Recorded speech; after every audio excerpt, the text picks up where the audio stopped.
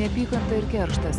Šiandien praėjus lygiai 70 metų istorikai dar nepajėgus įvardinti, kas vis dėlto sukėlė Lietuvo žmonių protę šitokį užtemimą, kuomet atsisukta prieš savo artimą, savo kaimyną, su kuriuo gyventa nuo amžių taikoje.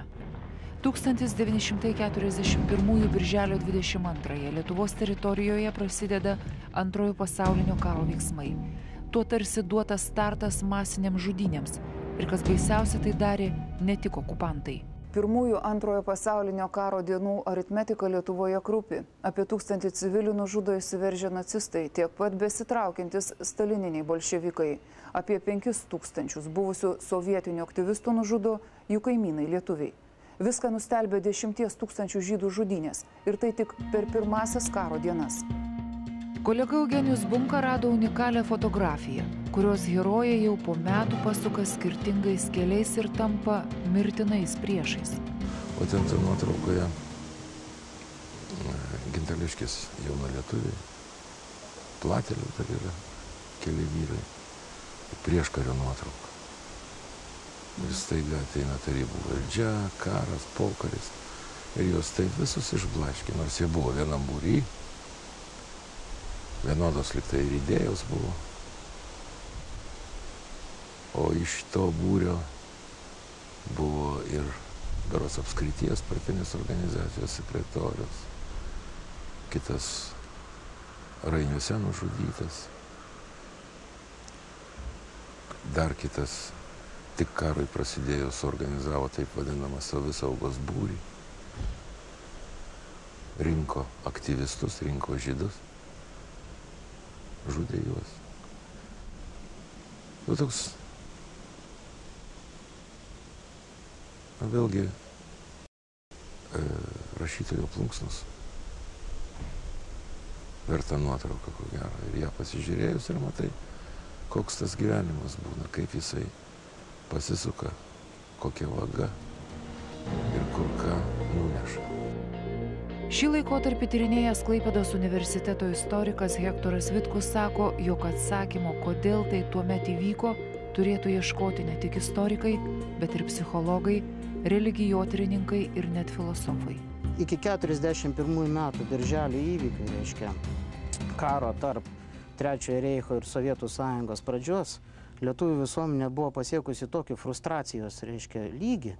Frustracijos tai reiškia, nu, tokio, vat, sukrenčiančios situacijos, kai tu susiduri su ta tokia, vat, reiškia, situacija, kad tu nieko padaryti negali. Kad tu tapai auka, o šita situacija iš karto diktuoja tokį poreikį ieškoti kažkokio tai dialektinio, reiškia, kaltininko, priešo. Ir tas priešas, va, kaip tik, tai reiškia, geriausiai pastebimas tai be abejonės žydai. Mes puikiai žinom apie tą, reiškia, žydo bolševiko, kaip tiesiog užkoduoto žydo bolševiko, tai reiškia įvaizdį, kokį jis turėjo poveikį iš tikrųjų, tas įvaizdis. Nu, tiesą sakant, visa ši situacija karo pradžioje sueina į tokį lygmenį, kad, nu, tiesiog, nu, palankesnių aplinkybių tokiam, reiškia, nevaržomam nusikaltimui, nu, tikriausiai būtų sunku surasti. Bet grįžkime į tas pirmasias birželio karo dienas, kurias pirmiesiems teko išgyventi žemaitijos žmonėms. Per Berlyno radiją paskelbiamas šaukinys, išaunamos signalinės raketos, prasideda karo veiksmai. Apie penktą valandą vokiečių kariuomenė pasiekė pirmuosius pasienio miestelius - Palanga, Kretinga, Garkštus. Sutinkamas nedidelis pasipriešinimas prie dabartinės autobusų stoties teritorijoje buvo, aiškiai, garnizono rusų dislokacijos vieta ir ten e, vokiečiai sutinka pasipriešinimą. Tas pasipriešinimas užtrunka keletą valandų, e, kol vyksta mieste kautynės, kyla apie 11-12 val. gaisras mieste. Ir maždaug 17 val. jau yra miestas išvalytas sovietinius armijos karių ir surenkami vietos gyventojai, kaip suvaromi visi į rinkos aikštę prie bažnyčios dabartinės. Iš vietos gyventojų pasakojimo yra žinoma, kad vokiečių kariai e, tyčia padega medinę bažnyčią. Ir tai yra kerštas už Klaipidas gatvėje nušauta aukšto rango karininkai. Kariškiai apsupo žmonės, atsuko į juos kulkosvaidžius ir laukė nurodymo, ką toliau su tais gyventojais daryti. Tuo kartu įsakymo sušaudyti nebuvo. Gaisras plėtėsi, karštis darėsi nebepakeliamas ir žmonėms leido pasitraukti arčiau Minijos upės, tačiau gyventojai ir toliau tebe buvo saugomi. Vėliau ryte jie yra pervaromi į parką ir lietuojams liepiama atsiskirti nuo žydų tautybės žmonių. Park, reiškia, lietuviai paleidžiami, o žydai toliau laikomi, reiškia, parke ir moteris ir vaikai yra atskiriami. Jie yra maždaug 300 metrų čia nuo parko, reiškia, stovėjusios sodybos svirnė, reiškia, jos nuvaro uždaro. O vyrus e, atskirtus dar ten kurį laiką yra iš vietinio gyventojų vėl pasakojama, žinoma, kad tyčiajamas įvairiai, reiškia, liepiama e, daryti visokius pritupimus, bėgioti, reiškia. Po to maždaug ant pietų, reiškia, varoma yra per rinkos aikštę, čia Klaipėdos gatve, E, vėl nuvaroma prie minėtos autobusų stoties, kur buvo rusų garnizono, reiškia, pastatai, ten buvo iškasti apkasai gynybiniai, reiškia, rusų. Ir tie vyrai, reiškia, žydų tautybės, reiškia, yra padalinami į dvi grupės. Vienai grupiai liepiama laidoti žuvusius sovietų armijos karius. Antrai yra liepiama, reiškia, gilinti tos apkasus, platinti. Ir e, tai vyksta jau 23 dieną. Ir tai tik pradžia.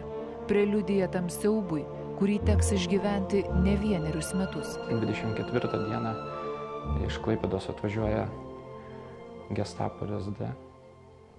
Apie 20, 30 narių, berots, neklystu. Ir 20 ties policininkų pulkas, 20 žmonių. Tai pati egzekucija būtent vykdoma birželio 24-osios po pietų. Tai yra išlikę medžiagos, iškia kaip ta tvarka visa vyko. E, reiškia, jau į tos išgilintus apkasus, reiškia, prie tų apkasų būtent buvo atvaroma po dešimt žydų, reiškia, tokios grupės. E, tie policininkai, reiškia, sustatyti buvo dviem eilėm po dešimt žmonių tam, kad kiekvienas, reiškia, šautų, reiškia, du, du žmonės šautų į vieną auką. Po to, reiškia, po, po salvės gestapo, reiškia, atstovai dar paleisdavo kontrolinį šūvį ir tada gydytojas apžiūrėjęs konstatuodavo mirtį. Ir buvo vėl atvaroma dešimties žmonių, reiškia, grupė. Liepiama jiems sumesti į apkasus jau nušautus žmonės ir reiškia, kartojama tas veiksmas. Ir, ir, ir, ir toje vietoje buvo nušauta iš raporto yra žinoma 201 žmogus.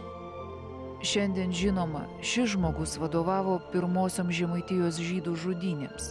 Jis nacistas. Tačiau jau po kelių dienų šautuvo prieš kitą tautį savo kaimyną atsuka lietuvis. Kasgi įvyko? Kretingos rajone Kviecių miškelėje tarp nužudytų 700 žydų yra ir 22 žemaičiai. Tarp jų plungės rajono gyventojo Vidmanto Gendvilo senelis. Apie tai artimieji sužinojo tik labai neseniai. Anu, kiek žinau, iškveiti į apskritį kažkur, iškveiti į seniūniai kažkap turi. Iškveis, nes čia buvo net ne šiaip savo dingst. Anu, kažkur iškveiti. Ir jis išvažiavo, ir nebegrįžo. Nu ir Mona babūnė vis laik dar širdį tikėjus, kad laik gyvus gal. Nu gal pasitraukti kur nors, gal kap, gal kap. Nes kai kas am, nu šnekėdavom, ta tuk tema, nu nelaba šnekama buvo, bet įsivaizduokit, ką prasideda viskas. Čia kars, čia važiuotas, technik traukas, vis ras, čia jau ir sąrašą ir prasideda žmonių šaudyms. Nes čia labai tas kvecius, nu, tas į pirmais šaudyms jau. Ne to, ką vėliau, ta telšius plungė kažkur vėliau pradėjo šaudyti. Būtent jau įsiaudrinė, iššaudo, ką priklausė. Tai dabar senelis su žydais nieko bendro neturi. Niekas nežinau. Nu gal turi, gal ten kažkokie ryšiai iš kartenos, nes tu vis tiek, ne, pusiau amatininką kažką buvau, tas da prosenelis buvo kalvis. Pernelyg daug sutapimų šioje istorijoje. Vidmanto brolis daugiau nei po šešių dešimtmečių nuo senelio žuties visai netoli nuo jo nužudimo vietos, nieko apie tai neįtardamas, įsigijo žemės. Tuomet Vidmantas sako, reikia jam žinti aukų atminimą. Tik tada ir sužinota, kad senelis palaidotas būtent čia. Parvažiuoti, Akus sako, aš turiu visą to holokaustą Lietuvos sušaudytų žydų sąrašą. Jis sako, aš pažiūrės, kas ten buvo sušaudyta. Jo, atsivert bylą, Jons Munietijos komben sako, ir Stasys Gendvilas, e, Gendvigas sumaiš, nu, nes ta knyga ir daryta Amerikos žvalgyba surinka, Izraelis atspausdina, nu, ir įsivėlė per tris kalbas, ten galūnį, bet visą kitą. Iki 1941 pabaigos Lietuvoje sunaikinta apie 140 tūkstančių žydų tautybės žmonių. Prie šios skaudaus klausimo dar grįšime. Na, o pirmosiomis dienomis tolin per žemaitiją šliauždama savo krūviną šleifą toliau tempia nacių kariuomenė. Žudomi beginkliai. Vokiečių kariuomenės vado Vilhelmo Keitelio įsakymų vietovės, kuriuose vokiečių kariuomenė buvo klastingai užpulta ir nebuvo galima nustatyti konkretaus kaltininko, turėjo būti taikoma kolektyvinė atsakomybė. 1941 birželio 23-ąją nacistų baudžiamojo būrio kerštas atsisuko prieš ablingos gyventojus. Ablinga sudeginama 42 šio ir kaimininio žvaginių kaimo gyventojai sušaudomi. Ir visa tai tik todėl, kad užsilikę raudonarmiečiai nušovė du į kaimą užsukusius vokiečių kareivius. Po nacistų keršto akcijos gyvi liko tik apie 20 ablingiškių. Tos dienos buvo baisus metas, kai kraujas liejosi nesustodamas. Tai buvo metas, kai savo suvoktą teisingumą vykdė kas tik sugalvojo. Prieš akis unikalus anų laikų dokumentas. Ant Lietuvos Respublikos teismo blankų sąrašas pasmerktųjų. Jie esą dirbo sovietams prieš pat karą. 62 žmonės. Vyriausiam 60, jauniausiam 18 metų. Beje, tai tarybinis aktyvistas Česlovas Baličius. Eugenijui Bunkai pavyko rasti paskutinėje jo nuotrauką, fotografuota 41 gegužės 1. Vaikinas sušaudytas kartu su savo tėvais.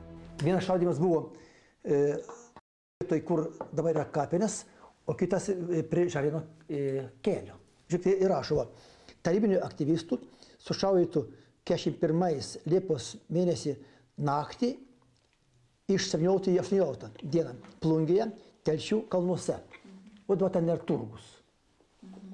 O čia, žiūrėkit, rašo, o, aktyvistai sušaudyti Liepos mėnesį 24 dieną. Tarp sušaudytųjų tverų liaudės teisėjas Kazragis, platelių policijos viršininkas Liudas Zubė ir jo brolis iš Gintališkės kaimo. Taip pat senelių prieglaudos direktorius, kumetis, fabriko apsaugos darbuotojas, brigadininkas, batsiuvių artelės vedėjas, tarp jų du rusų karo belaisviai. Žemaičių naumiestyje.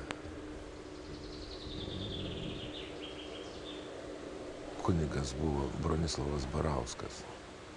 Ir prasidėjus karui, jisai iš sakyklos perspėjo žmonės, nedarykite blogo nieko. Kraujas iššauks kraują. Tačiau vietiniai žmonės, buvusi valščiaus raštininką. Kadangi jis raštingas žmogus, jį e, tarybų valdžia pasodino į raštinę. Vietiniai žmonės atvedė tą žmogų ir pasakė, vokiečiams jį reikia sunaikinti, nes e, jis tarnavo rusams. O tas pasakymas rusams mm, irgi jis yra visiškai netikslus. Tarnavo tarybų valdžiai. O taip reikėtų tikriausiai sakyti. Tiksliau. Vokiečiai sako, bet jis kaip valdininkas, kaip raštingas žmogus.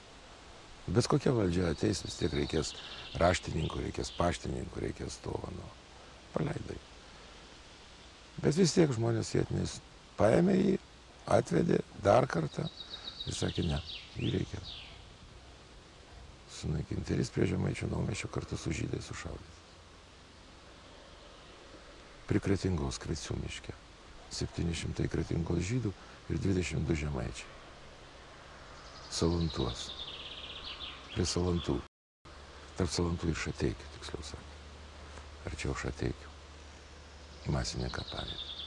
Vietiniai žydai ir žemaičiai. Kodėl, už ką, kas.